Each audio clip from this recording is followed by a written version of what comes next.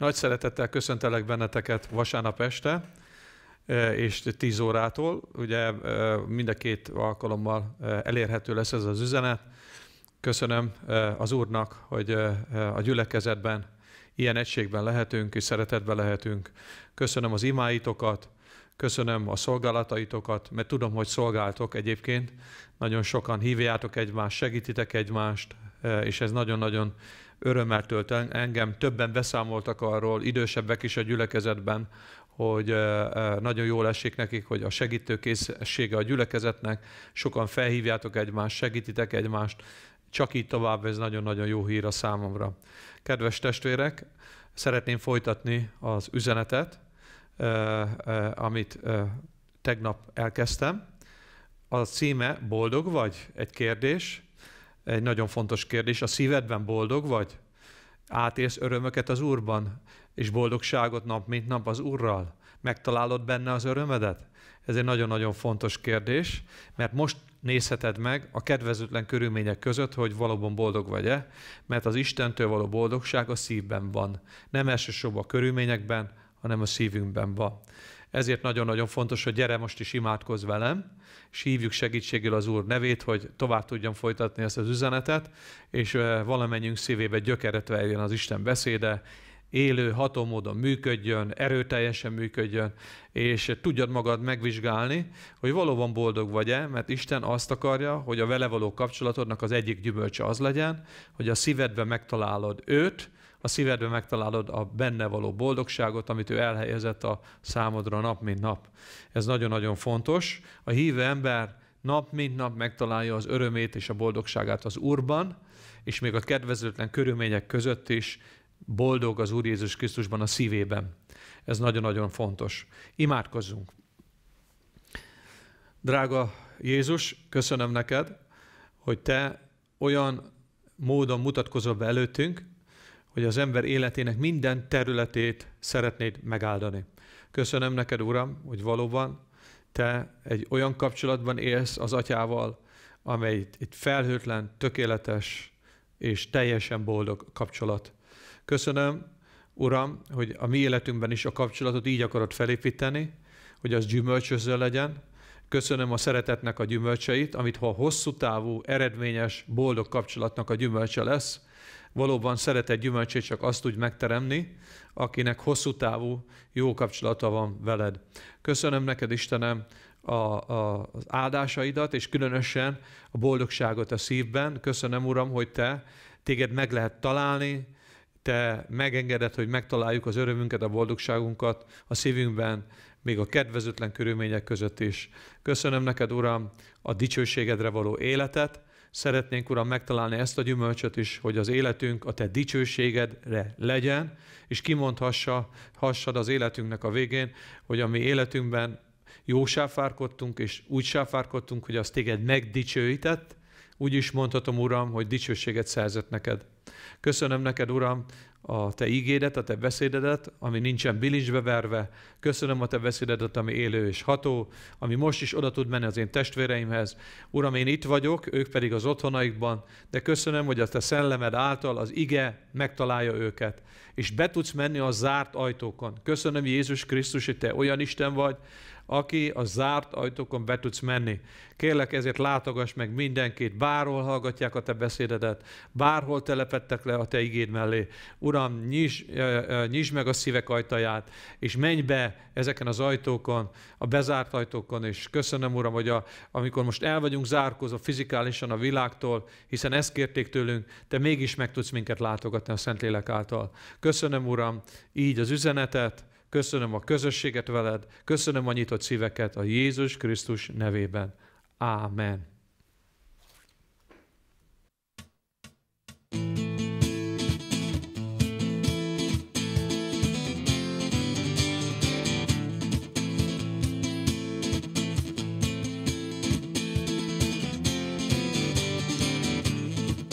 Jézus meghalt a Golgottán értem, legyőzte pokolcs halál, aki elvette a bűneimet, az ő uralma örökké áll.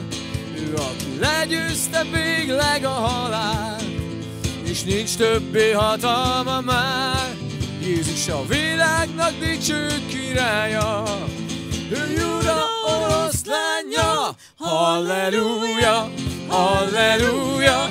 halleluja. Az harcból. Halleluja, halleluja, halleluja, Jézus az harcból. Halleluja, halleluja, halleluja, Jézus az harcból. Halleluja, halleluja, halleluja.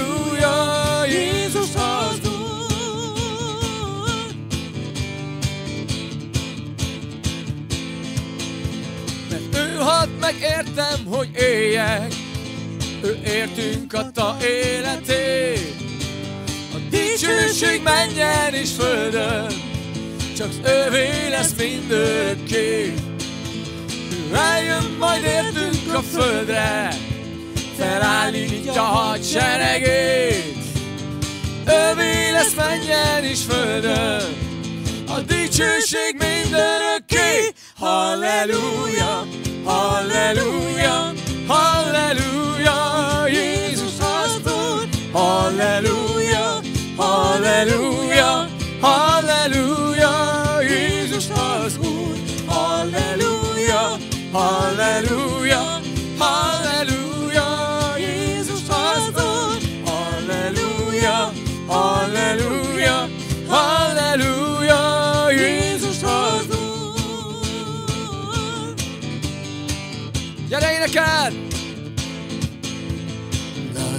na na na na na na na na na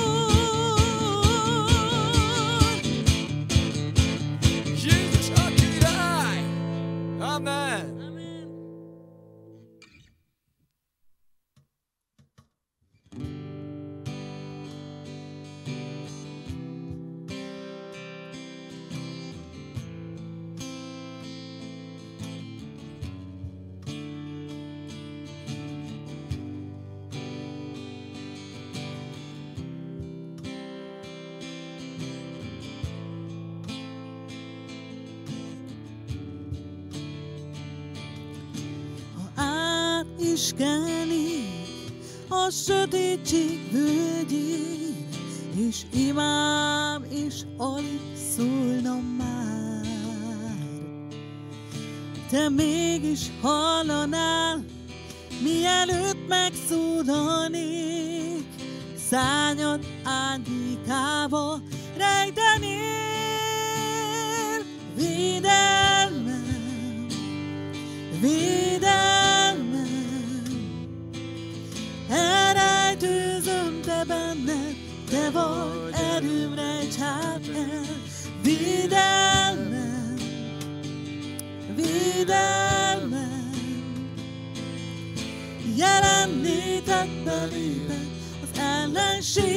nem érhet el védelmem.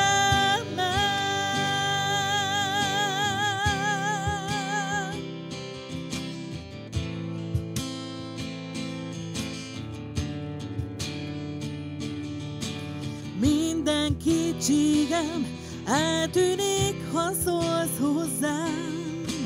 Hűségedben elrejtőzhetem.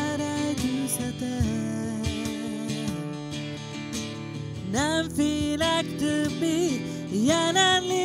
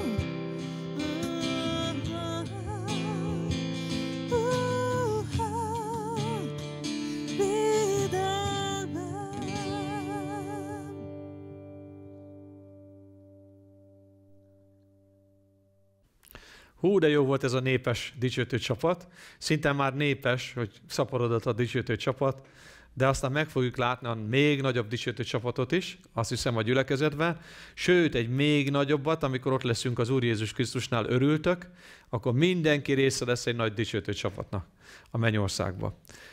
Dicsőség az Úrnak a megszámlálhatatlan sokaságért, akik dicsérik az Urat. és mi ott leszünk vele együtt. Szeretném folytatni az üzenetet. Az üzenetemnek a címe, az életadó adását látjátok, a párszor szava címmel, és a mostani szakasza, ez a mostani üzenetnek a címe, a boldog vagy? Kélek hallgassátok meg az előző, a szombat esti üzenetet is. Ha jól emlékszem, az irgalmasoknál fejeztük be az üzenetet, és akkor szeretném folytatni. A nyolcadik verssel így folytatja az Isten beszéde. Boldogok, akiknek a szívük tiszta, mert ők az Istent meglátják. Dicsőség az Úrnak. Áldott legyen az Úr Jézus Krisztus neve. Csodálatos ez. Nagyon sokat jelent ez a tisztaság, és egy kicsit magyarázzuk meg a tisztaságnak a jelentését. Ugye tisztát, szentet, egyebet is jelent, ezt mindenki tudja, de a tiszta szívű ember alapvetően, így tudnám összefoglalni, egy olyan ember, aki őszintén tud szeretni. Őszinték az indítékai, őszinték a háttérben lévő gondolatai, és őszinte tiszta szívből, szeretetből cselekszik. Ilyen a tiszta szívű ember, őszinte szeretet van benne, és eh, valóban egy olyan ember, aki ö, ö, csodálatosan be tudja bizonyítani, hogy mindent, amit tesz, hitből és szeretetből tesz. Adja jó Isten, hogy eljussunk erre a teljes tiszta szívű állapotra, hogy a hit és a szeretet befolyásolja minden indítékunkat, tudok áment mondani, és valóban ez legyen a háttérbe, ne legyenek hátsó rossz gondolatok, indítékok a mi életünkben, hanem világos, tiszta legyen minden hátsó szándékunk, indítékunk megegyezzen azzal, amit mondunk, hiszen ma látjátok, hogy a mai világban teljesen külön válik attól, amit az emberek mondanak, mint amit gondolnak a szívükben. Megtanultak az emberek képmutatóskodni, hazudozni, ez a hazugságnak a korszaka. A hazugság atya tanította meg a világot hazudni, és látjátok, hogy amikor mondanak valamit, az egyáltalán nem úgy van a szívükben. De ők ezt teljesen normálisnak tartják, de nem így az Isten igéjében, mert a tiszta szívű ember, amit mond, az úgy van a szívében is. Nincs két vélemény. Nincs két vélemény, hanem egyetlen egy vélemény van, és azt tudja képviselni. És azt mondja itt az Isten igéje, hogy itt is van egy ígéret, ugye a tiszta szív, az őszinte szeretettel rendelkező szív e, Isten meglátja, dicsőség az Úrnak. Ne, nem csak az irgalmasnál van ez, hanem, hanem itt is, dicsőség az Úrnak, itt is megtörténik ez, hogy meglátja az Urat, és olyan jó látni az Urat az életünkben, látni az Urat, hogy amikor az ember szeretetből cselekszik, és itt van benne a boldogság. Tudtok mondani egy álment testvérek, hogy olyan nagy boldogság, amikor az ember meglátja, hogy őszinte szeretetből, amikor cselekszik, hogy az Isten hogy gyógyítja meg az ember környezetét, hogy hogy formálja át a kemény szíveket is, és hogy hozza el a győzelmet az életünkben úgy, hogy látszólag úgy tűnik, hogy a bárányok veszítenek. Azt mondja az Isten igéje az egyik helyen, hogy úgy küld bennünket az Úr Jézus Krisztus ebbe a világba, olvastátok remélem, mint bárányokat a farkasok közé. Tehát a bárányok azok tiszta szívűek, őszinték, és egy bárány az soha nem győzhet. Egy tiszta szívű szerető ember azt mondják, hogy soha nem győzhet. De elmondom nektek, testvéreim, hogy a világ legnagyobb ereje, az egyik legnagyobb erő a szeretetben van. És a szeretet mindig győz Dicsőség Istennek. Győzelmet fog, végsőképpen győzelmet fog aratni. Dicsőség az Úrnak. A tiszta szívű emberek fogják örökölni a földet, a tiszta szívű emberek fognak végsőképpen győzni, és elmondom, hogy nem a gyűlölet, nem a sötétség fog győzni, hanem a tiszta szív és a szeretet fog győzni. És éppen ezért meg tudjuk látni, az életünkben, hogy Isten a rosszból jót hoz ki, mondjatok áment, és ezért van benne boldogság. Mert a tiszta szívű ember először úgy tűnik, hogy veszít, mindenki lenézi, könnyű, könnyű, könnyű az ilyen embert visszaszorítani, könnyű az embert úgy néz ki háttérbe szorítani, de aztán a végén Isten mindig harcol az ő népéért, és a tiszta szívűek, az őszinte szeretettel rendelkező emberek még a csontokat is megroppantják. És így hiszem most is, hogy mi szeretjük az országunkat, szeretjük az Urat, és meg fog roppanni a, a vírusnak minden ereje. El fog pusztulni, és nem fogja tudni fenntartani az királyságát, uralmát Magyarország felett. Ez a gonosz erő, és ez a vírus. A Jézus Krisztus nevében mondjatok egy áment. Ezért meglátjuk és tiszta szívűek vagyunk, és a tiszta szívűségben, az őszinte szeretetben győzelem van, az ilyen emberben jövő van, és megtalálod a tisztaságban. És még egy dolgot hagyd mondjak, testvérem, hogy a tisztaságot, a tiszta szívűséget meg lehet szeretni. És elmondom neked, hogy olyan jó becsületesnek lenni. Tudsz egy álment mondani? Meg lehet szeretni a becsületet. Meg lehetett szeretni a szélhámosságot is, de most kívánom, hogy szeresd meg is. Én már szeretek becsületesnek lenni. Szeretsz igazságosnak lenni? És sorolhatnám. Szeresd meg a jót. Szeresd meg az isteni tulajdonságokat. Ahogy szeretted annak idején a sötétségnek a cselekedeteit, most szeres igazlak lenni, szeres becsületesnek lenni, szeres hálásnak lenni, szeres kedvesnek lenni, mondj egy álment. És ebben van a boldogság. Én szeretek ilyen ember lenni. Sokkal nagyobb boldogság, mint gyűlölni, sokkal nagyobb boldogság, mint szeretetlennek lenni, mint képmutatónak lenni, az igazi boldogság a tiszta szívűségben van. Dicsőség az Úrnak. Találd meg benne az Urat. A következő azt mondja, boldogok a békességre igyekezők, a kilencedik versnél tartunk, mert ők az Isten fiainak mondatnak.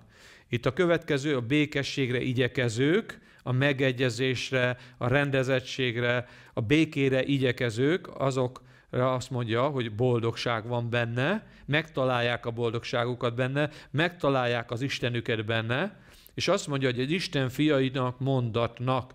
Tehát jó bizonságot fognak találni, a kívülállók eh, fognak róluk bizonságot tenni, és azt mondja a Biblia, hogy a világ mondja majd rólunk, hogy Isten gyermekei vagyunk.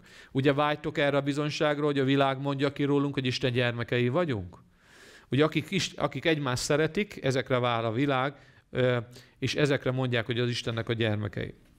Nagyon-nagyon fontos ez is, nézzük meg, hogy mit jelent a békességre igyekezés. Néhány dolgot felírtam magamnak. Az első nagyon fontos, hogy kapcsolat építő. Tehát a békességre igyekező ember egy olyan ember, aki mindig dolgozik azon, hogy békességet teremtsen maga körül, vagyis kapcsolatokat épít. És a kapcsolatépítésben a jó, minőségi, boldog kapcsolatokban, rendezett kapcsolatokban boldogság van, mondjatok ámen. Megtalálod az Urat a kapcsolat építésben. És hogy te két testvér között megépíted a kapcsolatot, akik haragszanak egymásra. Vagy te megépíted a kapcsolatodat olyan emberrel, akivel eddig nem volt jó kapcsolatod. Most gondolj valakire. Ugye nem rám gondoltál? Remélem. Szóval megépíted a kapcsolatodat, még az úrvacsoránál is azt mondja az Istennek az igéje, hogyha, hogy mielőtt vennéd az úrvacsorát, békülj meg azzal a testvérrel, akivel rendezetlen a kapcsolatod, mert akkor lesz áldás számodra a, a, a, az úrvacsora, Egyébként pedig átok van ilyenkor az ember számára, ha nem rendezi a kapcsolatait, akár Istennel, akár az embertársaival, és azt mondja, a kapcsolatépítő emberek boldogságot találnak benne, életet találnak benne, értéket találnak benne, ahol rendezik a kapcsolatokat egymással, segítenek ebben a kapcsolatépítésben. A másik jelentése, hogy közösséget építő. Tehát ahol jó közösség van, testvéreim, boldogok vagytok ti az élet gyülekezetében. Különösen boldogok vagytok, amikor rendezettek a dolgok, és jól mennek a dolgok egy közösségben. Jó tartozni egy jó közösséghez. Én most sok áment hallottam, hallok ám mindent, attól függetlenül nem vagyok ott veletek, hallok mindent, sok áment hallottam, hogy szeretitek az életgyülekezetét, szeretitek a jó kapcsolatokat ebbe a gyülekezetbe, mert boldogság van egy, egy közösségben. Dicsőség az Úrnak. Csodálatos, hogy az élet gyülekezetében jó közösség épül. És ennek a közösségnek az egyik alkotó eleme te vagy. Dicsőség az Úrnak. Nagyon örülünk, hogy ide tartozol, itt vagy, velünk vagy, és annyira boldog vagyunk, hogy építed ezt a közösséget a te jelenléteddel, ajándékaiddal, szereteteddel, képességeiddel. Dicsőség az Úrnak, és építs te is tovább a közösséget azzal, hogy segíts testvéreknek megbékülni, segíts beépülni a közösségbe, és nem csak megbékülni kell segíteni, a kapcsolatépítésben, a békességre igyekezésben. Nem csak kapcsolatot kell építeni, hogy megjavuljanak a kapcsolatok, hanem közösséget is kell építeni. Tudtok egy álmen mondani? Építsük tovább a közösséget, és tovább építeni a közösséget azzal is lehet, hogy beépítünk olyan embereket egy közösségbe, akik még nincsenek benne, és úgy lehet építeni a tovább a közösséget, hogyha te aktívabb vagy benne, dicsőség az Úrnak, és úgy lehet tovább építeni egy közösséget, halleluja, dicsőség Istennek, hogy megvéded azt, ami már benne van. Csodálatos dolog, így lehet épülni és növekedni egy közösségben. Tehát boldogok a békességre igyekezők, mert Isten fiainak mondatnak. A kapcsolat építők és a közösség építő emberek megtalálják a boldogságukat ebben a kapcsolatépítésben. És a világ is azt fogja mondani egy ilyen jó közösségről, hogy Isten gyermekei, akik szeretik egymást. Tudtok ámen mondani? Isten gyermekeinek mondanak minket, ha kapcsolatépítők vagyunk, és közösségépítők vagyunk, dicsőség az Úrnak, és ebben nagyon nagy öröm van.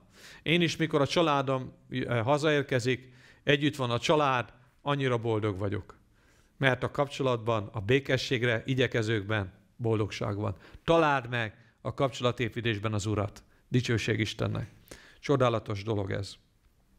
Azt mondja a következőben, boldogok, akik háborúságot szenvednek az igazságért, mert ővék a mennyeknek az országa.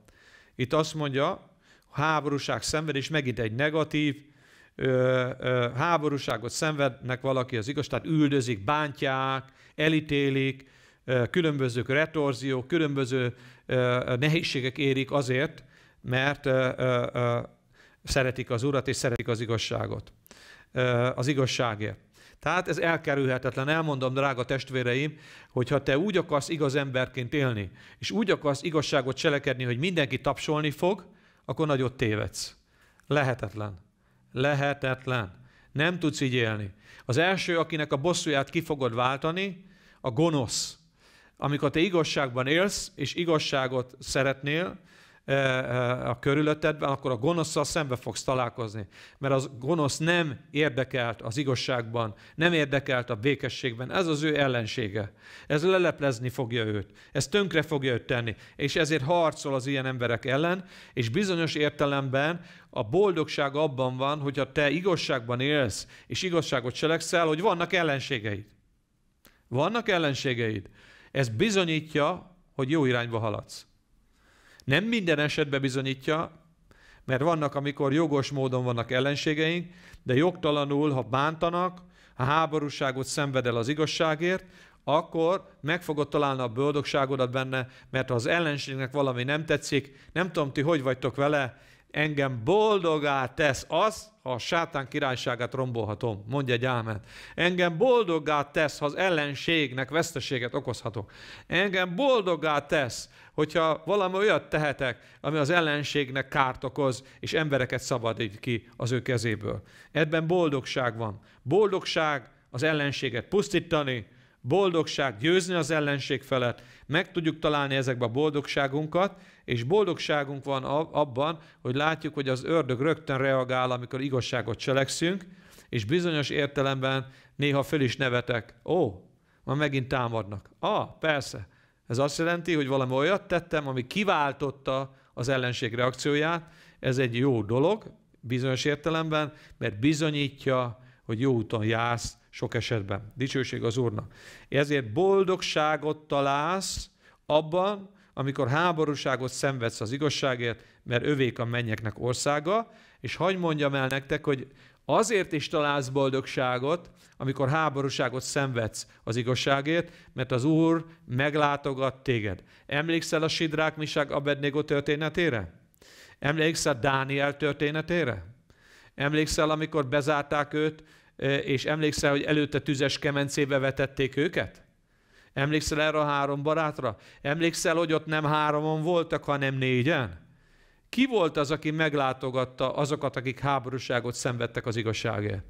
Az Úr Jézus minden beteget meglátogat, és az Úr Jézus minden háborúságot szenvedőt meglátogat, mondjatok egy ámen. Még a tűzben is utánad megy, még a börtönbe is utánad megy, és olyan boldogság, amikor az Úr Jézus meglátogat minket.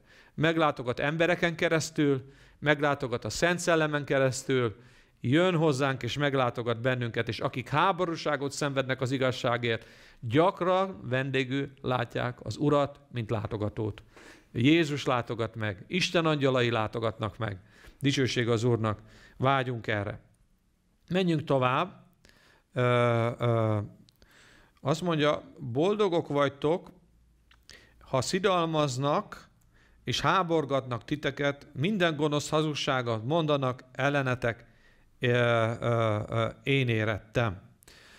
Hát ez megint nagyon a kemény szidalom, háborgatás, gonosz hazugságok, ugye ezek folyamatos ellentámadások a gonosz részéről, egyre erőteljesebb dolgokról olvasunk, a szidalom, az enyhébb, a háborgatás az már egy magasabb fokozat, és a gonosz hazugság az egy koncepciós per, amikor valakit szándékosan és, és, kitervelten támadnak meg, és így hazudnak róla. Jézus ennek az áldozata volt, hogy az előzőkben beszéltem erről. Ugye ez elég negatív fogalom, de olyan csodálatos, hogy azt mondja, hogy örüljetek és örvendezzetek, mert a jutalmatok bőséges. Itt is van egy ígéret. Jutalmatok bőséges. Bőséges a mennyben, bőséges a földön, de mindenképpen a mennyben bőséges jutalom vár bennünket. Örüljetek és örvendezzetek.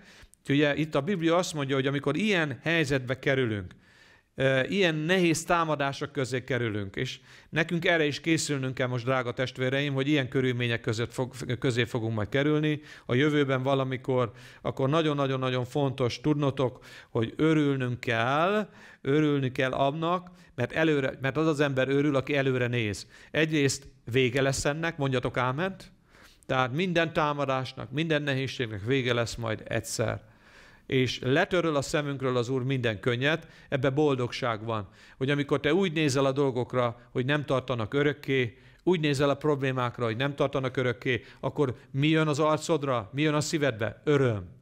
Hogy vége lesz egyszer. Mondd velem együtt. Vége lesz minden problémámnak és harcomnak. Vége lesz egyszer. Dicsőség az Úrnak. Véget fognak ezek a dolgok. És az az örvendezés, az pedig azt jelenti, hogy nem csak előre nézel, és látod a jövőt, hanem fölfakad forrásként benned az öröm.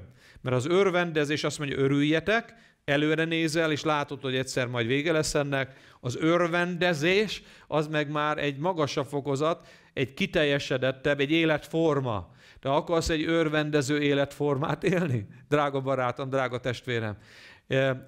Akarod, hogy ez legyen az jellemződ? Fölfakadjon benned az öröm, mint egy forrás? Ilyen életmódot akarsz élni? Mert ez, ez, ez csodálatos, mert meglátod a jutalmat, ami bőséges. Dicsőség az életedben. A profétákat azt mondja, háborgatták, akik előttetek voltak. És ez is nagyon fontos, hogy lássátok azt, hogy minden korszakban, minden világkorszakban vannak, amikor üldöztetés kezdődik el. Ugye ez erről is szól, hogy üldöztetés fog majd elkezdődni. De örüljünk, mert nem lesz, ennek, nem lesz ez mindig így, véget fog érni, és örvendező életmódot folytassunk, találjuk meg az örömnek a forrását az Úrral való kapcsolatban. Mondjatok egy ámen, mert eh, kiváltság az Úrért szenvedni kiváltság az Úrért szenvedni. Ez is nagyon-nagyon fontos. És aztán rátérek a következő részére az üzenetemnek, ezt itt most abba hagyom, és ez a részét befejeződött. Boldogok, áldottak vagytok, az Istennel való kapcsolatotoknak a gyümölcse, a boldogság a szívetekben, megtaláljátok az Urat, és most ha engedjétek meg, hogy hagyj beszéljek még röviden arról, a szubtanciáról, a keresztény élet szubtanciájáról, ami szintén csatlakozik ehhez az üzenethez, és szintén benne van ebben az üzenetben. Így hangzik az ige. Ti vagytok a földnek a sói, ha pedig a só megízetlenül, mivel sózzák meg? Nem jó az ezután semmire, hanem hogy kidobják és eltapossák az emberek. Ti vagytok a világ világossága, nem rejtetetik el a hegyen épített város. Gyertyát sem azért gyújtanak, hogy véka alá, hanem hogy gyertyatartóba tegyék, és fénylék mindazoknak, akik a házban vannak. Úgy fénylék a ti világosságotok az emberek előtt, hogy lássák a ti jó cselekedeteiteket, és dicsőítsék a ti mennyei atyátokat. Néhány gondolatot szeretnék erről is beszélni. A szubtancia szó azt jelenti, hogy lényeg. Méghozzá olyan lényeg, ami nem változik meg a körülményektől függően, ha változik is a környezetünk, a lényeg, a szubtancia, az mindig ugyanaz marad. Nézzük meg, hogy mi a keresztény életünknek a lényege, szubtanciája. Ez is nagyon-nagyon fontos, hogy hozzátegyük az életünkhöz ezt, hogy megtaláljuk a szívünkbe boldogságot, és hagyd tegyem a szubstanciát is hozzá, hogy ne veszítsd el a lényeget a szívedben. Hogy megtaláld a boldogságot a szívedben, mindig találd meg az Urat a szívedben, és mindig, mindig őrizd meg a lényeget a szívedben, a szubstanciáját, a lényegét az életednek. Ugye két dolgot jelöl meg itt Jézus Krisztus, és nézzük ezt meg. Az egyik, hogy maradjál olyan, hasonló, mint a só. És maradj meg hasonló módon, mint a világosság. Sőt, legyél olyan, mint a világosság. Ez a két szubstancia. Mondjatok áment. Mondjátok most velem együtt. Én olyan vagyok, mint a föld sója. És mondjátok velem együtt, én a világ világossága vagyok. Ez a két szubstancia, amit soha, semmilyen körülmények között a szívedből nem veszíthetsz el. Ha ez a két dolog elvész, akkor a lényeg vész el. A lényeg vész el. És akkor nagy kárt szenved az ember, mert minden életében minden kárt szenved. Nézzük akkor az első szubstanciát, az első lényeget, amit ne veszíts el a szívedből, mert sokan azért nem boldogok egyébként, mert ezt a két szubstanciát elveszítik az életükből, és hogyha a lényeg elvész, mivel te minek vagy teremtve, hogy a föld sója legyél, és annak vagy teremtve, hogy a föld világossága legyél. És hogyha elveszíti a föld sója az ízét, majd fogom mondani, hogy mennyi mindent veszíthetünk, akkor a lényegét veszíti el. És a lényeget elveszített emberek boldogtalanok. Céltalanok. A céljukat, a lényegüket, szubstanciájukat elveszítő ember, azok boldogtalan emberek, mert, mert érzik az életükben, hogy az életüknek nincsen értelme. Nincs értelme. Céltalanul vannak. Elveszítették a lényeget az életükbe, és a céltalanul élő emberek boldogtalanok. Nézzük meg tehát a föld sóját, hadd soroljam fel, mit jelent a föld sója, néhány fontos jellemvonást hagy mondjak el. Az első jellemvonás, hogy a, a só az a gyógyításnak az egyik feltétele. A gyógyításhoz használják a sót, ma is használják a sót a gyógyításban. Abban az időben még, még inkább használták. Aztán a só ízesít, tehát a só nélkül íztelen az élet, íztelenek a dolgok, megízesíti az ember életét a só, az emberi életmódot megízesíti, vagy előhozza az ízeket. Felnagyítja, előhozza az ízeket, aztán tartósít, tartósít, tehát megakadályozza a romlást. Megakadályozza a romlást, hogy ne romoljon meg valami. A következő, hogy szomjúságot okoz. Tehát ha valaki sós ételt eszik, mit csinál utána? Mint a szarvas szomjazik a hős, a, a, a hűs forrás után. Aztán nagyon fontos, hogy oltalmaz is, mert akit, ami, ami, ami, amit megsóztak, az meg, megoltalmazza a fertőzésektől és a betegségektől azt, amit megsóztak. Ez oltalom is, védelem is a só. Tehát soroljuk fel, a só gyógyít, ízesít, tartósít, szomjúságot okoz, és oltalom alá helyezi az embert. És lehetne még sorolni nagyon sok mindent, de amikor a föld sója, mint, mint hívő ember a szívéből, az életéből elveszíti a lényeget, akkor erről beszélünk, érted már? Te nem veszítheted el a gyógyulást, hogy legyél a világ gyógyulása. Mondja egy ámen. Jézus Krisztus téged arra hívott el, hogy ne hatástalanul éld az életedet, hanem a körülötted betegek vannak, ott meggyógyuljanak. Ámen? Tehát te akkor maradsz a föld sója, ha te életeddel gyógyítasz. A beszédeddel és az életeddel gyógyítasz. És a gyógyulást azt az Úr Jézus Krisztustól kapod, mivel téged az Úr meggyógyított, megszabadított, te tovább tudod adni a gyógyulást és a szabadulást.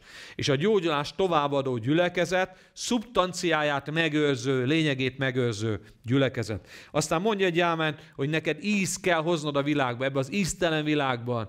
Íz kell hoznod, élvezeti, élve, hogy a, hogy a, hív, hogy a hívő ember az, az megmutatja, hogy hogyan kell igazán élvezni az életet, becsületesen, tisztán megőrizni és megbecsülni és szeretni az életet aztán tartósítanod kell. Meg körülötted, az egyház körül, a gyülekezet körül, a hívők körül meg kell, hogy álljon, fékeződnie kell a romlásnak, mondjatok egy ámen. Ott, ahol egy élő gyülekezet van, ott az a gyülekezet hatással van a környezetére, és ott fékeződik a romlás, fékeződik a, a rohadás. Dicsőség az Úrnak. Aztán szomjúságot okoz, hogyha te igazán jó hívő ember vagy, megőrizted a szubstanciádat, a lényegedet, akkor te Isten után szomjúságot keltesz az emberekben, mondja egy ámen. Te vagy az az ember, akinek az életét, ha figyelik a kere, az emberek körülötted, te szomjúságot fogol okozni a környezetedbe Isten után. Elkezdik majd keresni miattad az Urat az emberek. Megkívánják az életedet. Megkívánják az életedet, a boldogságodat. Ugye most vágysz arra, hogy a békességedet megkívánják az emberek, mert nekik most nincs békességük, és megkívánják a te békességedet. És tegyél bizonságot arról, hogy te Jézus Krisztusé vagy. Ez nagyon-nagyon fontos. Aztán nagyon-nagyon fontos, hogy oltalmazzá. Tehát a szubstanciát megőzött gyülekezet oltalmaz. Oltalmazza a körülötte lévőket. Az imákkal, Jézus vérével be tudunk fedezni. Ugye a vér mögött lévő családok megmaradtak. És hiszem, hogy a társadalomban lévő keresztények, a társadalomban lévő gyülekezetek oltalmaznak. Mondjatok egy áment. Tehát őrizd meg a só szubstanciádat, a só lényegedet Jézus Krisztusban, mert akkor maradsz boldog. Dicsőség az Úrnak. És akkor töltöd be a küldetésedet, akkor tudsz hatást, befolyást gyakorolni a világra, és egyik célja az életednek a hatásgyakorlás, a befolyás, és hogy gyakorolni tudjál a világra egy jó befolyást, egy jó hatást. Dicsőség az Úrnak. És az utolsó, amiről szeretnék beszélni néhány percben, a világosság. Ugye nézzük meg a világosságot. Nagyon érdekes ez is. Áldott legyen az Úr Jézus Krisztus neve, hogy a világosságról is vannak nagyon fontos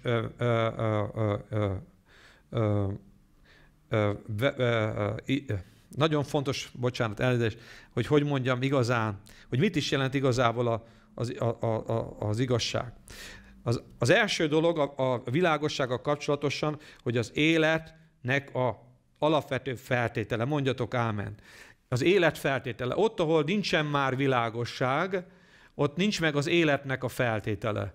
És egyre inkább sötétség van, ott egyre inkább hal meg minden. És ezért, amikor szubstanciáról beszélünk, akkor nagyon fontos, hogy élet legyen benned, mondja egy ámen. A Krisztus élete, a Szent Szellem élete benned legyen, élő ember legyél. Ne halódó félbe lévő ember legyél, mert ha világosságban vagy, életet közvetítesz, és élet feltételét adod meg a környezetedben, Isten rajtad keresztül ezt teremti meg. Aztán nagyon-nagyon-nagyon fontos az is, hogy Isten jelenlétét jelenti a világosság. Tehát amikor Isten jelenlétéről beszélünk, akkor a világosságról is beszélünk. Hol lakik az Úr? Világosságban van teljes világosságban van. Vágysz arra, hogy a te életed Isten jelenlétét közvetítse a környezeted számára? Rendkívül fontos, hogy rajtad keresztül Isten jelenléte érintse meg az embereket. A gyülekezeten keresztül Isten jelenléte érintse meg az embereket. Akkor vagyunk világosságban. Aztán a világosság azt is jelenti, hogy akkor nem veszíted el a lényegedet, hogyha te megértést hozol az emberiségnek. Tehát te olyan keresztény vagy, akin keresztül Isten szólni tud az emberekhez és meg tudják érteni, hogy mibe vannak, hogyan vannak, és Isten egy megértést tud rajtad keresztül adni az emberiségnek, világosságot. A magyar kifejezés ezt is mondja egyébként, világos? A világos kifejezés azt jelenti, érted? Megértetted, amiről van szó? A keresztény ember megértést, kijelentést hoz a világnak. Mondja egy áment. El ne veszítsd ezt a szumtaciádat, hogy neked van kijelentés, és rajtad keresztül Isten tud szólni az emberekhez.